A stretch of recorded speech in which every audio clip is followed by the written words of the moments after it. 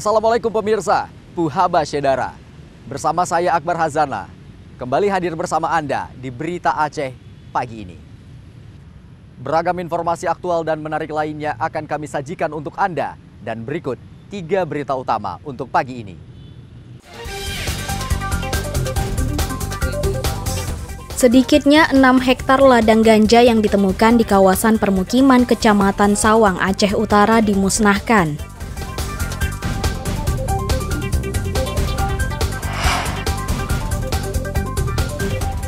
Ratusan ternak warga di Kecamatan Darul Hasanah, Aceh Tenggara divaksin guna mencegah penyebaran virus penyakit mulut dan kuku.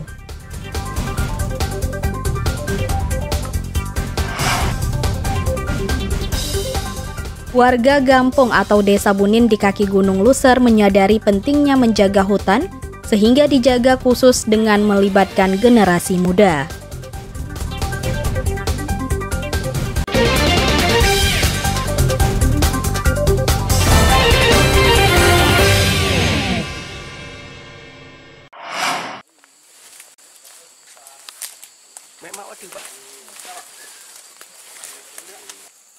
Sedikitnya 6 hektar ladang ganja siap panen kembali ditemukan di kawasan perbukitan Kecamatan Sawang, Aceh Utara, Aceh, Selasa siang. Temuan ini merupakan yang ketiga kalinya sejak Agustus 2021 lalu. Operasi ladang ganja nyaris bagaikan berwisata bagi ratusan personel gabungan BNN bersama polisi dan tentara di perbukitan Kecamatan Sawang. Betapa tidak, tidak sampai setahun sudah tiga kali ladang ganja ditemukan berdekatan meskipun tidak dalam satu kawasan. Meskipun harus menyusuri kawasan perbukitan dan semak belukar, tim gabungan tetap gembira tiba di ladang ganja. Sedikitnya 10 ton ganja basah ditemukan di area ladang yang berada di perbukitan. Ladang ganja ditemukan di dua lokasi yaitu Desa Tepin Resep dan Desa Belangmanya, Kecamatan Sawang. Tanaman ganja setinggi 1,5 meter hingga 2 meter tidak lama lagi siap dipanen. Petugas kemudian memusnahkan sekitar 20 ribu batang ganja dengan cara dicabut lalu dibakar di lokasi. Operasi ladang ganja di Aceh terus berlangsung. Namun ladang ganja tak kunjung habis. Selama tahun 2022, BNN telah memusnahkan ladang ganja di tiga kabupaten yaitu Aceh Besar, Gayo Luas, dan Aceh Utara. Direktur Narkotika Bidang Pemberantasan BNN Brigjen Pol Roy Hardi Sihaan menyatakan, meski tidak ada tersangka yang ditangkap, operasi ladang ganja tetap dilanjutkan.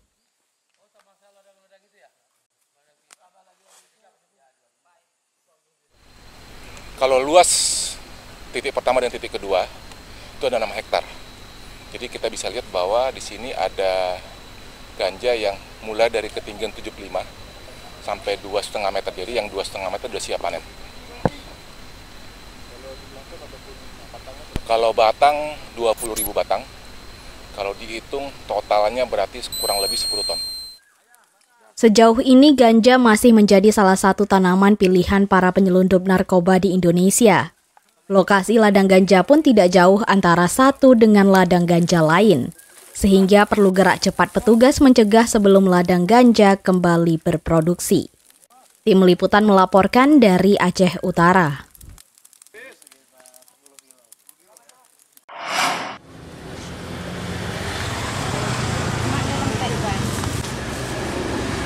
Kenaikan harga cabai merah di pasar tradisional Lambaru, Aceh Besar nyaris tak terbendung. Harga cabai merah terus naik hingga sudah mencapai Rp110.000 per kilogram atau rekor tertinggi sejak harga cabai naik. Pada pekan lalu, harga cabai masih berkisar antara Rp70 sampai Rp75.000 per kilogram. Beberapa hari kemudian naik lagi hingga Rp100.000 dan Rabu siang sudah mencapai Rp110.000 per kilogram. Kenaikan harga cabai bukan saja memberatkan pembeli, tapi juga pedagang lantaran daya beli warga menurun. Warga beralih ke cabai merah kering yang harganya masih di bawah harga cabai merah segar. Pedagang yang biasanya mampu menjual cabai merah hingga 400 kg per hari, kini tinggal setengahnya saja. Akibatnya omset pedagang pun turun hingga 50 persen. Kenaikan harga cabai sejak akhir April 2022 lalu hingga kini belum juga turun. Kenaikan terjadi hampir empat kali lipat dari sebelumnya hingga sudah mencapai Rp110.000 per kilogram. Muhammad Hussein, salah satu pedagang di Pasar Lambaro, menduga kenaikan harga cabai lantaran pasokan cabai dari sejumlah kabupaten kota di Aceh kurang. Akibatnya cabai terpaksa dipasok dari luar Aceh hingga harga jadi mahal. Hari 100, 100 ya. 1 kilo. Berarti masih terus bergerak naik harga cabai. berasa ya masih. Hmm, kenapa ini Bang kok bisa sampai 100 ribu per kilo? Ya kurang barang kan di ke dikirim ke luar lagi ke Medan dari sini juga ke Jawa. Bukan hanya harga cabai yang naik, bawang merah pun ikut naik hingga mencapai Rp60.000 per kilogram. Tim Liputan melaporkan dari Aceh Besar.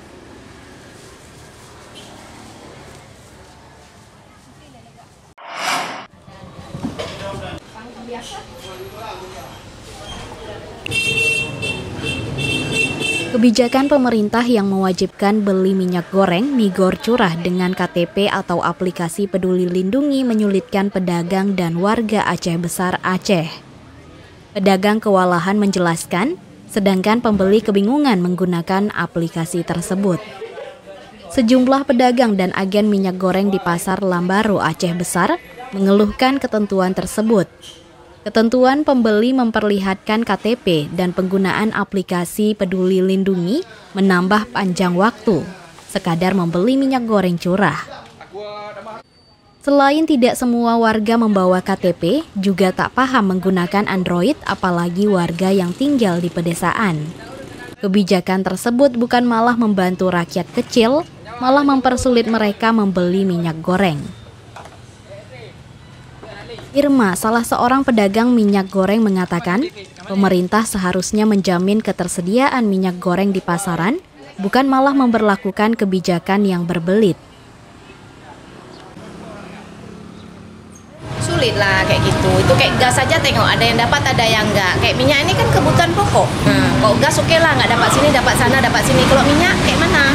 Sayanglah masyarakat kayak gitu Jadi artinya biar aja seperti yang udah selama biasa ini. aja kayak gitu Kalau di kita Kak selama ini masyarakat itu eh, belinya banyak-banyak atau kayak mana? enggak lah kalau orang kita sini belinya kan kalau orang mau dijual ya beda, mau makan pribadi beda, ada bedanya sih adek kayak gitu. Kalau makan pribadi paling beli 4 kilo, kayak gitu, 2 kilo.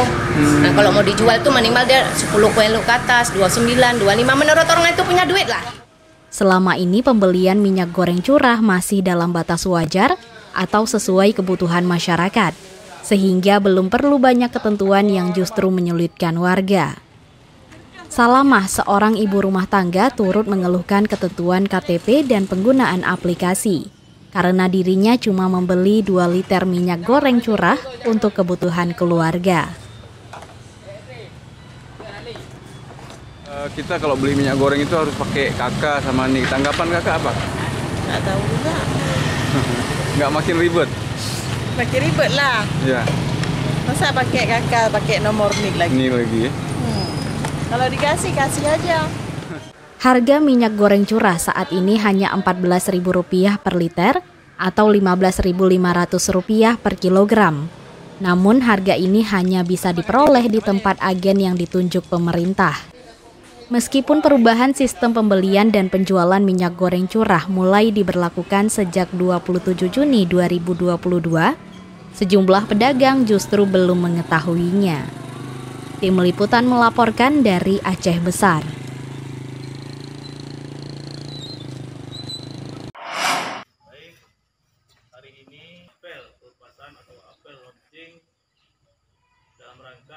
Kasus penyakit mulut dan kuku PMK yang belum mereda mendorong petugas di Aceh Tenggara, Aceh menggalakkan vaksinasi. Vaksinasi bagi ternak warga untuk menahan laju PMK yang hingga saat ini masih terjadi. Petugas menyiapkan obat-obatan dan vaksin untuk menyuntik sapi warga agar terhindar dari PMK. Apalagi wabah PMK masih terjadi menjelang datangnya Hari Raya Kurban. Sedikitnya 300 dosis vaksin disuntikan kepada 300 ternak sapi di Kecamatan Darul Hasanah, Kabupaten Aceh Tenggara. Vaksinasi ini sebagai upaya Pemkap Aceh Tenggara mencegah dan memutus rantai penularan PMK. Untuk memaksimalkan vaksinasi dan pengobatan, petugas membentuk tiga tim. Tiga tim mendata dan memantau kondisi ternak yang tersebar di 16 kecamatan. Ya, kita utamakan yang divaksin itu ternak yang sehat. PMK ini kan biasanya menyerang ternak yang berkuku dua. Tidak semua ternak dia serang PMK. Kemudian dianjurkan di dalam apa itu ternak yang divaksin ini ternak yang dipelihara petani untuk pengembang biakan. Kepala Dinas Pertanian Aceh Tenggara, Rizkan mengatakan, vaksinasi bagi ternak warga di tempat lain segera menyusul.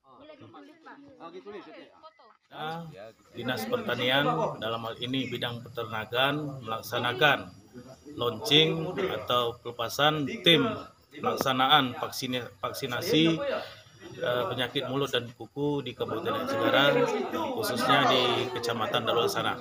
Nah, saat ini dosis vaksin yang sudah diberikan ke kita ke Aceh Tenggara itu sebanyak 300 dosis vaksin PMK yang sudah disalur ke Aceh Tenggara. Warga diimbau agar segera melapor jika menemukan gejala PMK pada ternaknya. Petugas akan menyuntik vaksin agar sembuh sehingga wabah PMK bisa terkendala. Tim liputan melaporkan dari Aceh Tenggara.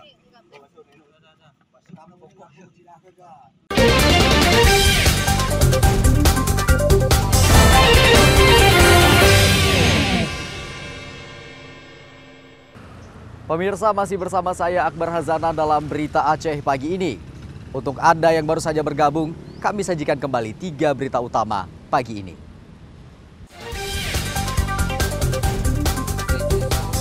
Sedikitnya 6 hektar ladang ganja yang ditemukan di kawasan permukiman Kecamatan Sawang, Aceh Utara dimusnahkan.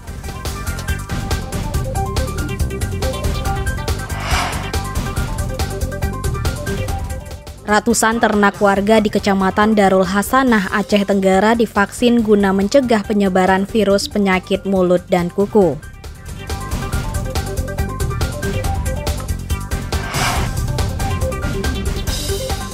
Warga Gampung atau Desa Bunin di kaki Gunung Luser menyadari pentingnya menjaga hutan sehingga dijaga khusus dengan melibatkan generasi muda.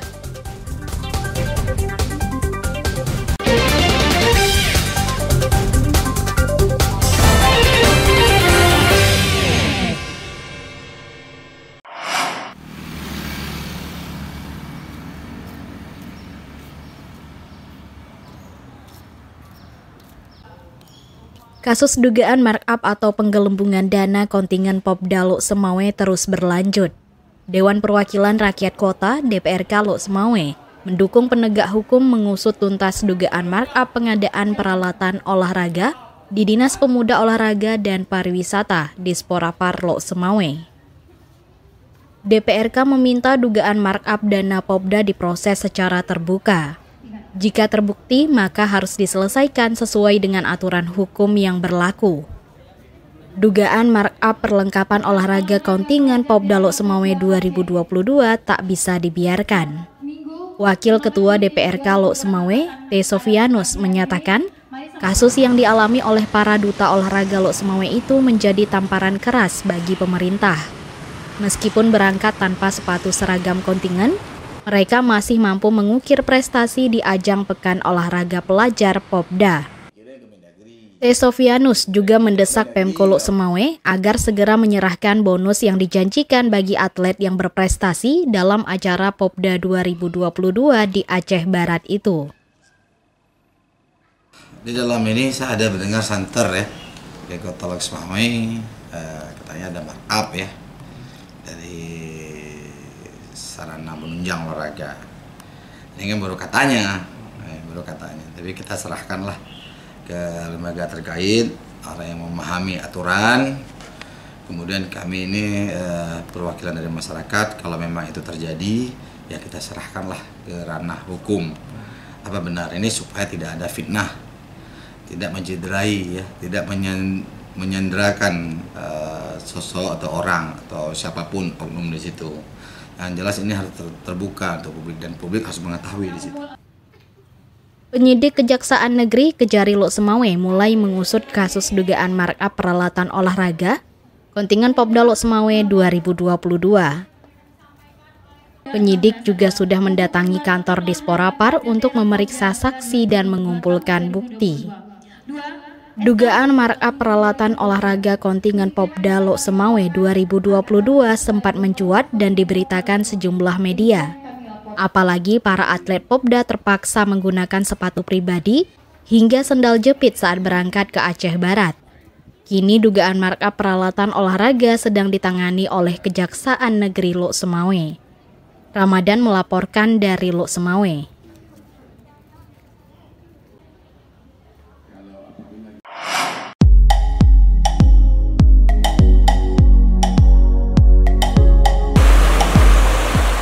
Bunin adalah salah satu dari beberapa desa yang terletak di kaki kawasan ekosistem Luser di Provinsi Aceh.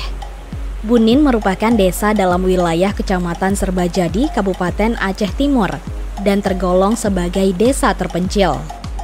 Suasana asri dan pemandangan desa yang menyejukkan mata membuat siapa saja yang berkunjung ke Bunin selalu ingin berlama-lama di sana.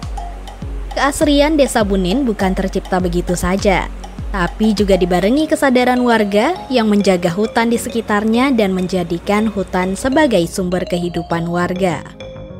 Luser merupakan kawasan ekosistem yang dijuluki sebagai paru-paru dunia.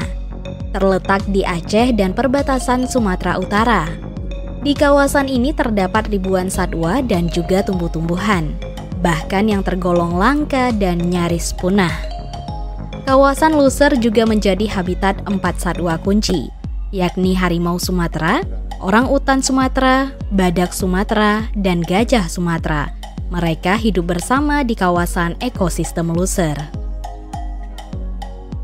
Demi menjaga kelestarian alam dan desa sebagai permukiman warga, warga diajak untuk melestarikan hutan dengan menanam sejumlah pohon di lahan desa dan kawasan pinggir hutan.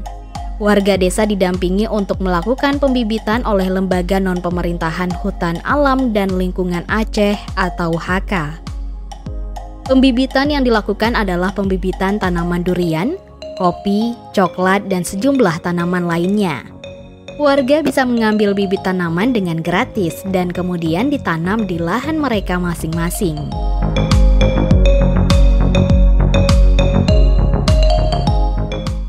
Tempatnya belum ada. Kalau udah ada lahan sih kemarin itu ya udah ditanam kayak kopi itu kan udah ditanam bisa ditanam durian, pete itu. Cuman belum ada lahannya, Pak. Selain pembibitan, sejak lima tahun lalu, HK Aceh juga membentuk sebuah kelompok ranger alias pengawal hutan. Ranger ini terdiri dari pemuda desa yang bertugas melakukan patroli rutin, mengawasi dan menjaga hutan dari aksi penebangan liar.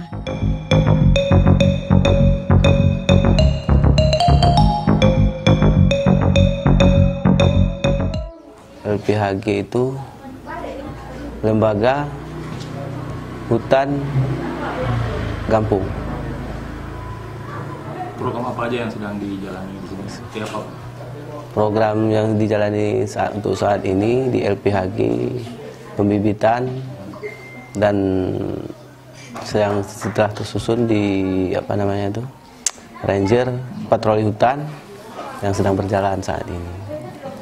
Jadi alhamdulillah membawakan hasil yang sangat baik bagi kami masyarakat Gampung Munin. Sambil mempertahankan kearifan lokalnya, Bunin juga terus melakukan penyelamatan terhadap hutan dari aksi penebangan liar dan perburuan liar. Banjir bandang yang pernah melanda Bunin menjadi pelajaran pahit bagi warga bahwa keberadaan hutan bisa menyelamatkan kehidupan manusia dan makhluk hidup lainnya. Daspriani Zamzami melaporkan dari Aceh Timur.